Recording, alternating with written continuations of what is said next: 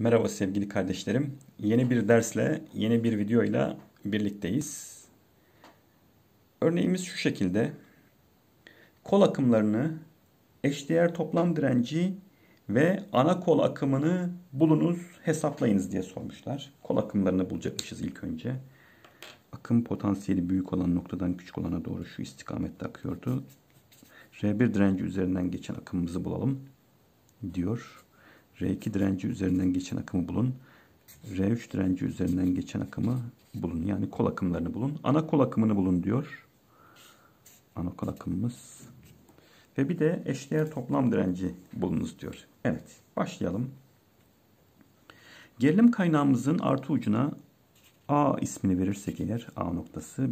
Eksi ucuna da B ismini verirsek. Bakın şurası A noktasının ta kendisi. A noktasının ta kendisi, A noktasının ta kendisi.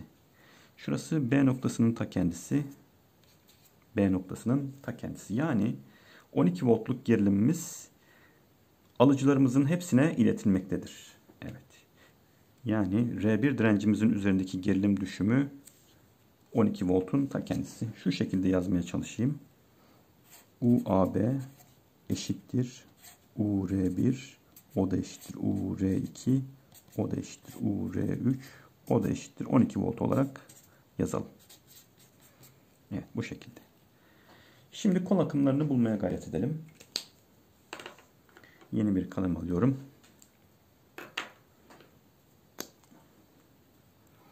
IR1 eşittir. R1 direnci üzerinden geçen akımı bulmaya çalışıyorum. R1'in üzerindeki gerilimi R1 değerine bölersem eğer vır formülünden akımı çektim sadece. Yine ohm kanunu kullanmaya devam ediyoruz. 12 voltluk gerilimimizi 1 kilo ohm'a bölüyorum. Eğer ki direncimiz 10 üzeri 3 bandındaysa yani kilo ohm mertebesindeyse akımımız da 10 üzeri eksi 3 bandında yani miliamper mertebesinde olmalıydı. 12 miliamper olarak bulduk gördüğünüz gibi. R2 direnci üzerinden geçen akımı bulmaya çalışıyorum. UR2 bölü R2 gerilimimiz 12 volt. Direncimizin değeri akıma karşı gösterilen zorluğumuz biraz fazla 10 kilo ohm. Buradan 1 bölü 2 miliamper olarak R2 direnci üzerinden geçen akımı bulduk. Evet yeni bir sayfa alayım. R3 direnci üzerinden geçen akımı bulmaya çalışıyorum.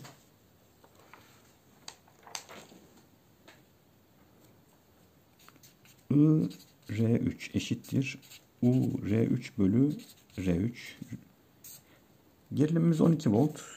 Akıma karşı gösterilen zorluğumuz 22 kilo ohm.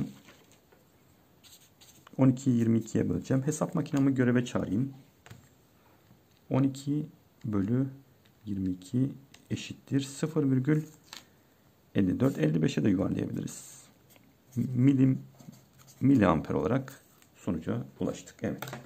Kol akımlarını bulduk. Sırada eşdeğer toplam direnci bulunuz diyor. Onun için AB açık AB açık uçlarından bakmaya çalışacağım. Yani gerilim kaynağımızı devreden çıkarıyorum. Yeni bir şekil çizeyim. Burası A noktası, burası B noktası olsun. Şurada direncimizin birincisi 1 kilo ohm. 10 kilo ohmluk direncimiz.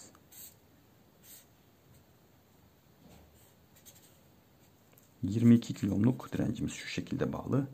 AB açık uçlarına bağlı 10 metremizin okuyacağı değeri bulmaya çalışalım. Bunlar kesinlikle ve şüphesiz birbirine paralel bağlı olduğuna göre 1 bölü RT veya 1 bölü RAB diyebiliriz. 1 bölü R1 artı 1 bölü R2 artı 1 bölü R3 formülümüzü kullanıyoruz. R1'imizin değeri 1 kilo ohm'du. R2'mizin değeri 10 kilo ohm. R3'ümüzün değeri 22 kilo gördüğünüz gibi. Hemen hesap makinamızı göreve çağıralım. 1 bölü RAB 1 1 bölü 1 artı 1 bölü 10 artı 1 bölü 22 eşitire basıyorum. 1,145 çıktı gördüğünüz gibi. Daha sonuca ulaşmadık yalnız dikkat edin. 1,145 Evet. 1 bölü RAB'yi bulduk. Bunun gizli paydası, kullanılmayan paydası 1. Onu da yazdım. Yeni bir renk almaya çalışayım. Buradan payıyla paydasının yerlerini değiştirmeye çalışıyorum sayıların. RAB bölü 1 RAB eşittir 1 bölü 1,145. Evet sonucumuz en küçük değerli dirençten daha da küçük olmak zorundaydı zaten. 1 kilomdan daha da küçük olacak. 1 bölü answer diyebilirsiniz. Eşittir dedim. 0,873 0,873 birimi kilo ohm mertebesinde. Bu şekilde eşdeğer toplam direncimizi bulduk gördüğünüz gibi. Sırada devre akımını bulmak var. Şuraya bulmaya çalışayım. İlk olarak gerilim kaynağımızı tekrar devreye alalım. 12 volttu. Bu 3 tane direncin yaptığı işi tek başına yapabilebilen direncimiz R toplam veya RAB 0,873 kaydı. Akım potansiyeli büyük olan noktadan küçük olana doğru akacak. Şu akımı arıyoruz. Akım eşittir. Gerilim bölü akıma karşı gösterilen zorluk her zamanki gibi. 12 voltu 0,873K'ya bölüyorum. Miliamper mertebesinde akım değerime ulaşmak üzereyim. 12 bölü 0,873 eşittir diyorum. 13,75'e yuvarlayalım.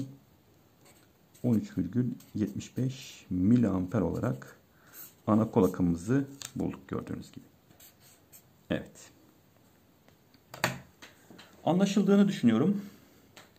Önümüzdeki videolarda görüşme komutuyla hoşça kalınız efendim. Sevgiyle kalın, saygıyla kalın.